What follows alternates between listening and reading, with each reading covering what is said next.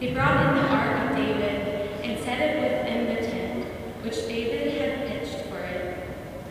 Then they offered up burnt offerings and peace offerings to God. When David had finished offering up the burnt offerings and peace offerings, he blessed the people in the name of the Lord.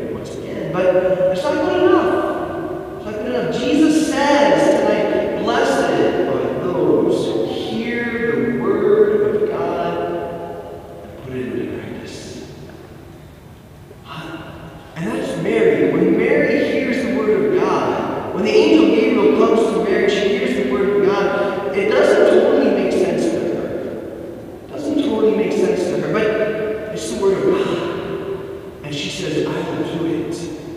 And she puts it into practice in her life. She doesn't do it under her own power, right? She cooperates with the power of the Holy Spirit at work in her life.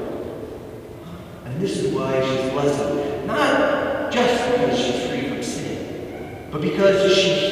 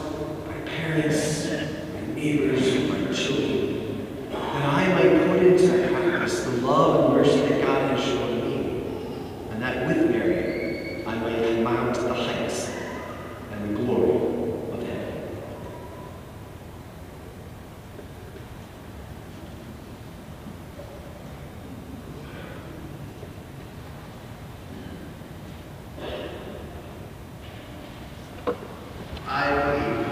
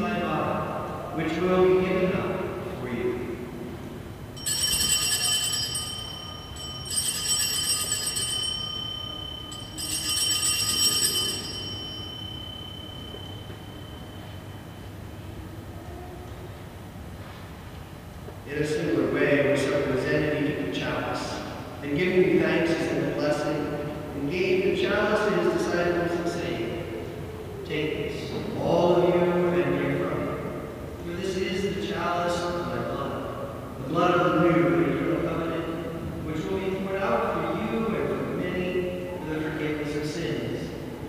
Do this in memory